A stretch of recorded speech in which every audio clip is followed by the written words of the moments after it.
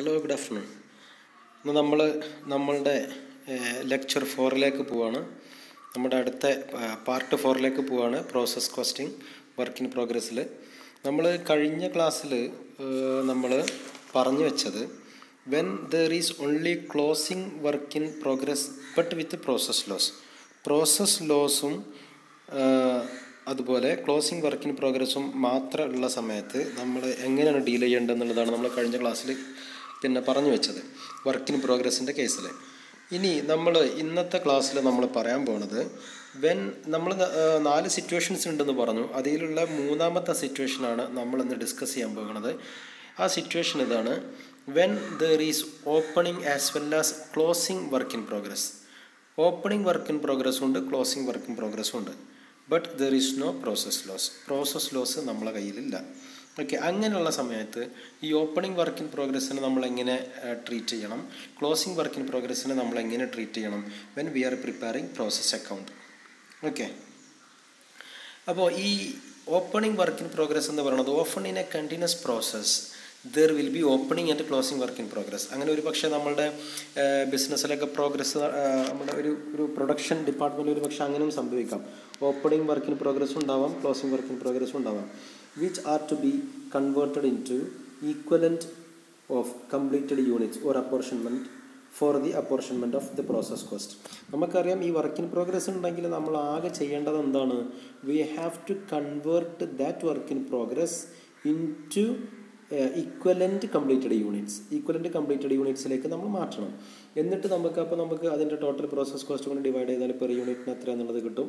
നമ്മൾ statement of the cost ഉണ്ടാക്കി. പിന്നെ നമ്മളത് പ്രോസസ് കോസ്റ്റ് പ്രോസസ് അക്കൗണ്ട് ഉണ്ടാക്കുമ്പോൾ നമ്മൾ അതിന്റെ റൈറ്റ് സൈഡിൽ നമുക്ക് ടു നെക്സ്റ്റ് പ്രോസസ്സെന്നോ അല്ലെങ്കിൽ ടു ഫിനിഷ്ഡ് പ്രോസസ്സ് പിന്നെ ടു വർക്കിന് പ്രോഗ്രസ് എന്ന് പറഞ്ഞിട്ട് രണ്ട് അക്കൗണ്ടിലേക്ക് നമുക്ക് ട്രാൻസ്ഫർ ചെയ്യാണ്ടാവും അതിന്റെ എമൗണ്ട് എത്രയെന്ന് കണ്ടുപിടിക്കലാണ് നമ്മുടെ ലക്ഷ്യം. അപ്പോൾ ഇവിടെ നമ്മൾ അതുപോലെ രണ്ടും നമ്മൾ എന്ത് ചെയ്യണം? ഓപ്പണിംഗ് വർക്ക് ഇൻ പ്രോഗ്രസ്സും closing work in പ്രോഗ്രസ്സും we have to convert into completed equivalent units okay the procedure of conversion of opening work in progress will vary depending upon which method of valuation of work in progress is used. നമ്മൾ നമ്മളുടെ ഓർഗനൈസേഷനിൽ ഏത് മെത്തേഡാണ് work in പ്രോഗ്രസിന്റെ value calculate ചെയ്യാൻ ഉപയോഗിക്കുന്നത് എന്നുള്ളതിന്റെ അടിസ്ഥാനത്തിൽ നമ്മൾ ഉപയോഗിക്കുന്ന മെത്തേഡിന്റെ അടിസ്ഥാനത്തിൽ അതിന്റെ വാല്യൂ മാറിക്കൊണ്ടിരിക്കും. ചിലപ്പോൾ നമ്മൾ ഇതിന്റെ വർക്കിന് പ്രോഗ്രസ് വാല്യൂ ചെയ്യാൻ വേണ്ടി അല്ലെങ്കിൽ നമ്മുടെ വർക്കിൽ നമ്മളൊരു പക്ഷേ ആവറേജ് കോസ്റ്റ് മെത്തേഡായിരിക്കും ഉപയോഗിക്കുന്നത്. അതല്ലെങ്കിൽ FIFO മെത്തേഡായിരിക്കും first in first out method അല്ല അതല്ലെങ്കിൽ ലാസ്റ്റ് ഇൻ ഫസ്റ്റ് ഔട്ട് മെത്തേഡായിരിക്കും അല്ലെങ്കിൽ വെയ്റ്റഡ് ആവറേജ് മെത്തേഡ് ഈ നാല് മെത്തേഡ്സ് ഒരു പക്ഷേ നാല് നാലിലെ ഏതെങ്കിലും ഒരു മെത്തേഡായിരിക്കും നമ്മൾ ഉപയോഗിക്കുന്നത്. അപ്പോൾ ഇതിൽ ഓരോ മെത്തേഡ് ഉപയോഗിക്കുമ്പോഴും വർക്ക് ഇൻ പ്രോഗ്രസിന്റെ വാല്യൂ അതിനനുസരിച്ച് മാറ്റം ഉണ്ടാവും. അപ്പോൾ നമ്മൾ ഈ ഒരു സിറ്റുവേഷനിൽ ഓപ്പണിംഗ് വർക്ക് ഇൻ പ്രോഗ്രസ് ഉള്ള പ്രോബ്ലങ്ങളിൽ ഇതിൽ ഏത് സിറ്റുവേഷനാണ് ഈ നാല് വാലുവേഷൻ മെത്തേഡ്സ് പറഞ്ഞതിൽ ഏത് വാലുവേഷൻ മെത്തേഡാണെന്നുള്ളത് നമ്മൾ നോക്കേണ്ടതുണ്ട്. ആ വാലുവേഷൻ മെത്തേഡ് പ്രകാരമാണ് നമ്മൾ കാൽക്കുലേറ്റ് ചെയ്യേണ്ടത്. നമ്മുടെ ഇക്വലന്റ് പ്രൊഡക്ഷൻ കാൽക്കുലേറ്റ് ചെയ്യേണ്ടത്. അത് മാത്രമേ ഇതിലൊരു പിന്നെ വ്യത്യസ്തമായിട്ടുള്ളൂ. അത് ബുദ്ധിമുട്ടുള്ള കാര്യമല്ല വളരെ ഈസിയാണ് വളരെ ഈസിയാണ് ഈ നാല് മെത്തേഡിലും കാൽക്കുലേറ്റ് ചെയ്യൽ വളരെ ഈസിയാണ് ഇക്വലന്റ് മെത്ത് ഇക്വലന്റ് പ്രൊഡക്ഷൻ കാൽക്കുലേറ്റ് ചെയ്യാൻ മാത്രമേ കാൽക്കുലേറ്റ് ചെയ്യുന്ന സമയത്ത് ഇതും കൂടെ കൺസിഡർ ചെയ്യണം എന്നുള്ളത് ഒരു വ്യത്യാസം മാത്രമേ ഉള്ളൂ. അതൊരു ബുദ്ധിമുട്ട ബുദ്ധിമുട്ടായിട്ട് കണ കൺസിഡർ ചെയ്യേണ്ട കാര്യമേ ഇല്ല. കാരണം it is very easy to calculate okay in all the four methods average cost method ആവാം. Evaluation of work in progress can be made in the following way depending upon the assumptions made regarding the following regarding the flow of cost such as average cost method or FIFO LIFO or weighted average method okay ഇനി നമ്മൾ ആദ്യം പഠിക്കാൻ പോണത് average cost മെത്തേഡാണ് നമ്മൾ ഉപയോഗിക്കുന്നതെങ്കിൽ നമ്മൾ എങ്ങനെയാണ് നമ്മളുടെ work in progress opening work in progress നമ്മൾ പിന്നെ വാല്യൂ ചെയ്യേണ്ടത് ക്ലോസിംഗ് വർക്ക് ഇൻ പ്രോഗ്രസ് നമ്മൾ വാല്യൂ ചെയ്യേണ്ടത് എന്നുള്ളതാണ് നമ്മൾ പഠിക്കാൻ പോണത്. ഇതിൽ ആവറേജ് കോസ്റ്റ് മെത്തേഡ് എന്ന് പറയുന്നത് according to this method opening inventory of the work in progress and its cost are merged with production and cost of the current period respectively ആ പാര സെന്റൻസ് മനസ്സിലായോ? നമ്മൾ ഓപ്പണിംഗ് വർക്ക് ഇൻ പ്രോഗ്രസിന്റെ amount അതിന്റെ യൂണിറ്റും എന്ത് ചെയ്യും? ഇപ്പോൾ നിലവിൽ നമ്മളുടെ ആ പീരീഡിൽ നമ്മൾ ഇൻട്രൊഡ്യൂസ് ചെയ്ത യൂണിറ്റിന്റെയും കൂടെ അതിന്റെ കോസ്റ്റിന്റെയും കൂടെ നമ്മളവിടെ ആഡ് ചെയ്യും. പിന്നെ ഒരു പ്രശ്നമില്ല ഇപ്പോൾ ഫോർ എക്സാമ്പിൾ നമ്മുടെ ഈ പ്രാവശ്യം ഈ വർഷം നമ്മൾ ഇൻട്രൊഡ്യൂസ് ചെയ്ത് എട്ടായിരം യൂണിറ്റ് ആണ്. കഴിഞ്ഞ പ്രാവശ്യത്തെ ഒരു ടു തൗസൻഡ് യൂണിറ്റ് നമ്മളുടെ കയ്യിൽ എന്തുണ്ട്? ഒരു ഓപ്പണിംഗ് ആയിട്ട് നമ്മുടെ കയ്യിലുണ്ട്. വർക്ക് പ്രോഗ്രസ് നമ്മുടെ കയ്യിലുണ്ട്. അപ്പോൾ നമ്മൾ എന്താക്കും ടോട്ടൽ യൂണിറ്റ് ടെൻ തൗസൻഡ് എന്ന് പറയും. അപ്പോൾ നമ്മൾ ആഡ് ചെയ്യും. ഒരു പ്രശ്നവും ഇല്ല അതോട് അതോടുകൂടി തീർന്നു. ഓക്കെ അപ്പോൾ അങ്ങനെ നമുക്ക് ചെയ്യാം. And an average cost per unit is determined by dividing the total cost by the total equivalent units to ascertain value of the units completed and the units in process okay these method is useful when prices fluctuate from period to period. നമ്മൾ സാധാരണ average cost method ഉപയോഗിക്കൽ ഈ ഒരു കേസിലാണ്. നമുക്ക് period to period നമ്മുടെ price സ്റ്റോക്കിന്റെ value പ്രൈസുകൾ മാറിക്കൊണ്ടിരിക്കുകയാണെങ്കിൽ നമ്മൾ ഈ ഈ സംഭവമാണ് ഉപയോഗിക്കുക. The closing valuation of work in progress in the old period is added to the cost of the new period and an average rate change which tends to even out the price fluctuations ഞാൻ നേരത്തെ പറഞ്ഞ അതേപോലെ നമ്മൾ എന്ത് ചെയ്യും? Opening work in progress we will add to the cost of the new period new period process cost okay നമ്മൾ new period process കോസ്റ്റിനോട് old period process cost നമ്മൾ ആഡ് ചെയ്യും. In calculating equivalent production opening units will not be shown separately as units of opening work in progress as taken to be included in the units completed and transferred നമ്മളതിനെ separate ആയിട്ട് കാണിക്കൂല എന്നർത്ഥം okay ഇനി problem ഒരു problem നോക്കിയാൽ കാര്യം മനസ്സിലാവും ഇപ്പോൾ നമ്മുടെ പ്രോബ്ലം അതാണ്.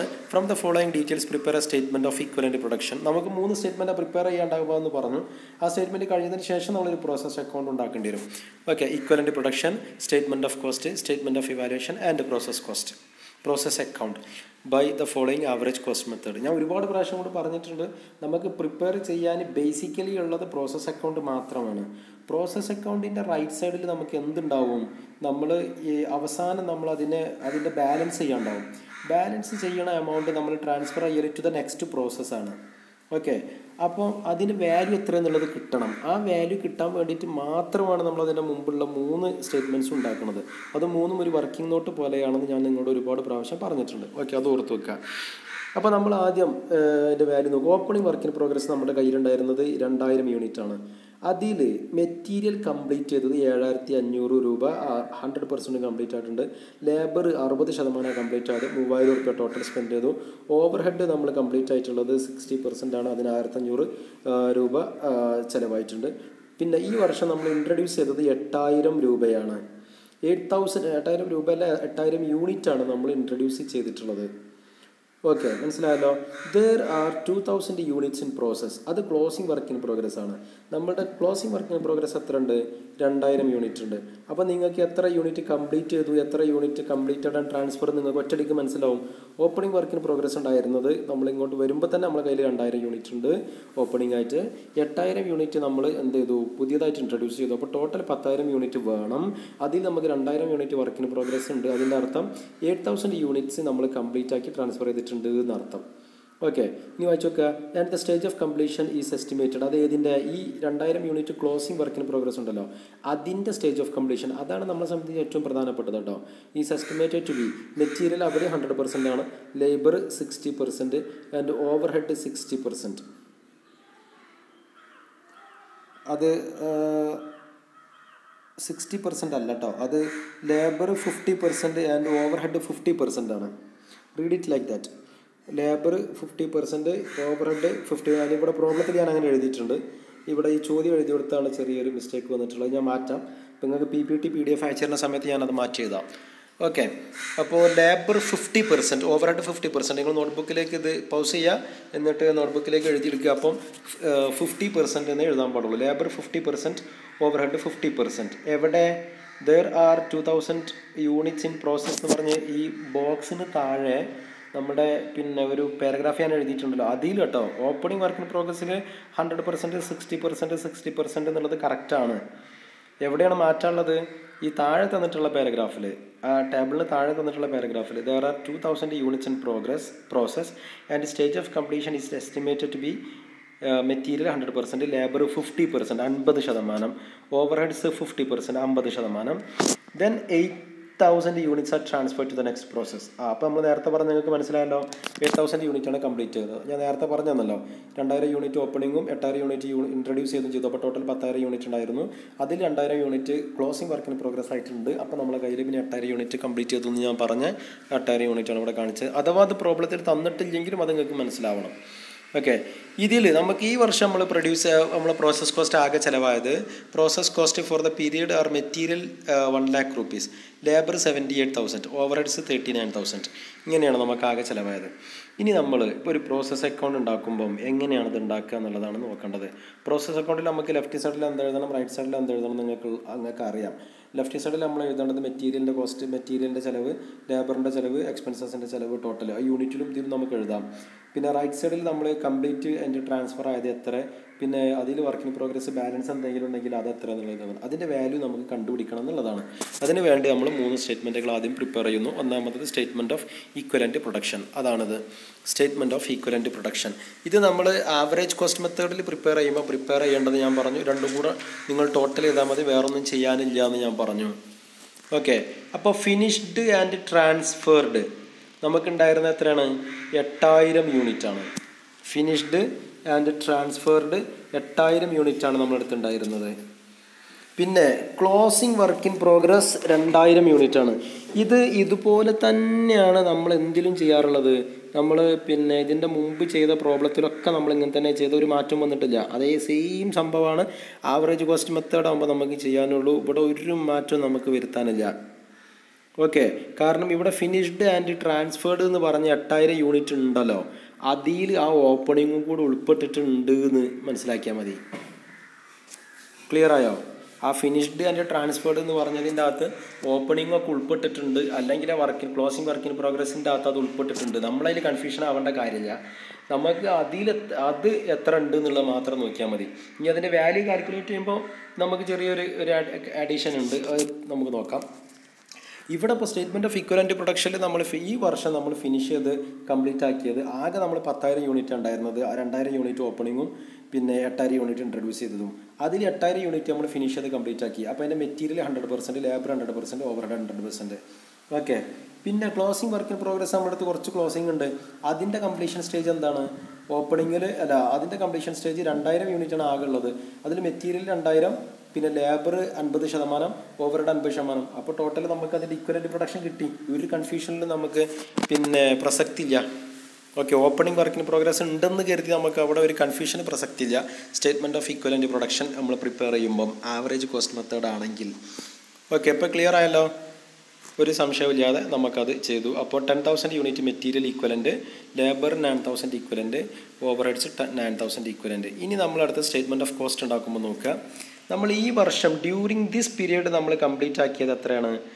പിന്നെ നമ്മളുടെ പ്രോസസ് കോസ്റ്റ് എത്രയാണ്? One lakh rupees seventy eight thousand and thirty nine thousand ആണ്. അത് മാത്രമല്ല നമുക്ക് ചിലവ് വന്നത്. കഴിഞ്ഞ പ്രാവശ്യം നമ്മൾ പിന്നെ ഹാഫ് കംപ്ലീറ്റ് ആക്കി വെച്ച കുറച്ച് ചിലവ് നമുക്കുണ്ട്. അതാണ് seventy seven thousand five hundred three thousand one thousand five hundred എന്ന് പറഞ്ഞത്. ഓക്കെ അപ്പോൾ ആ രണ്ട് ചിലവും കൂടെ കൂട്ടി നമുക്ക് ടോട്ടൽ കോസ്റ്റ് കിട്ടും. ഈക്വലന്റ് യൂണിറ്റ് നമുക്ക് എത്രയാണെന്നുള്ളത് നമ്മൾ നേരത്തെ കാൽക്കുലേറ്റ് ചെയ്തു. കോസ്റ്റ് പെർ യൂണിറ്റ് കിട്ടി എങ്ങനെ? One lakh seven thousand five hundred ആണ് total cost divide by ten thousand അതുപോലെ eight eighty one thousand divide by nine nine thousand four thou forty thousand five hundred divide by nine thousand okay ഇത്ര ചെയ്തപ്പോൾ നമുക്ക് total cost per unit കിട്ടി twenty four point two five two five rupees okay ഇതിലൊന്നും ഒരു സംശയവുമില്ലല്ലോ.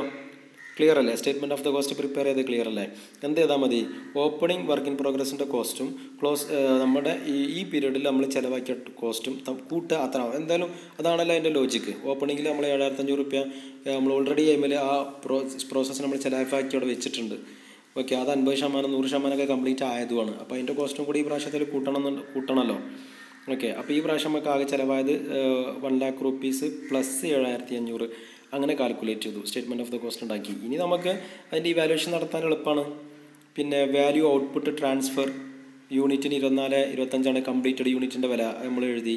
എട്ടായിരം unit ഒരു ലക്ഷത്തി തൊണ്ണൂറ്റിനാലായിരം. പിന്നെ ക്ലോസിംഗ് വർക്ക് ഇൻ പ്രോഗ്രസിന്റെ വാല്യൂ മെറ്റീരിയൽ ഈക്വലന്റ് രണ്ടായിരം യൂണിറ്റാണ് നമ്മൾ ഈക്വലന്റ് പ്രൊഡക്ഷനിൽ കിട്ടിയിട്ടുണ്ട്. ലേബർ ആയിരം ആണെന്ന് കിട്ടിയിട്ടുണ്ട്. ഓവർ ഹെഡ് ആയിരമാണെന്ന് കിട്ടിയിട്ടുണ്ട്. അതിന്റെ കറസ്പോണ്ടിങ് പെർ യൂണിറ്റ് കൊണ്ട് നമ്മൾ മൾട്ടിപ്ലൈ ചെയ്തു. ടോട്ടൽ ചെയ്തു.